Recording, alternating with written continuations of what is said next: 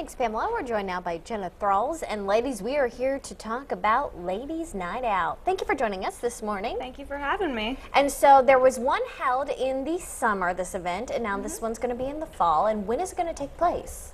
Um, the Girls Night Out event is actually going to be um, on Thursday, November 3rd, which is next Thursday. Um, it's at Clabber Girl in the Museum and Bake Shop, Okay. And from when to when? um, 6 to 8. And so if women come out, what is the cost and what are the different things? Because you're always adding new stuff to this event. Um, what we do is we basically invite several vendors in. Um, we try to get most people from around downtown, places that people don't really know about. Right.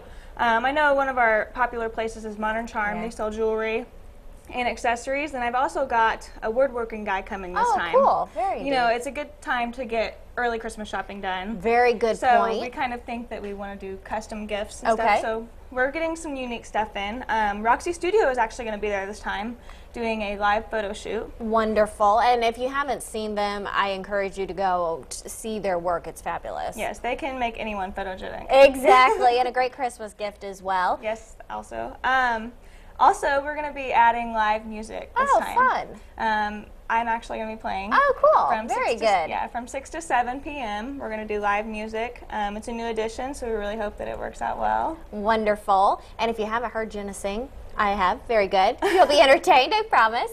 And so, again, the cost is $5. Do they need to buy tickets beforehand or can they do that at the door? Um, if you know any of the vendors that happen to be participating in the event, you can purchase tickets from them. Otherwise, they're going to be sold at the door. And you also get exclusive offers, and we're offering um, the first 50 guests goodie bags with coupons from all over town. So oh, that's great. I definitely encourage getting there fast. Wonderful. Well, thank you so much for joining us. All we right, thank appreciate it. Thank you.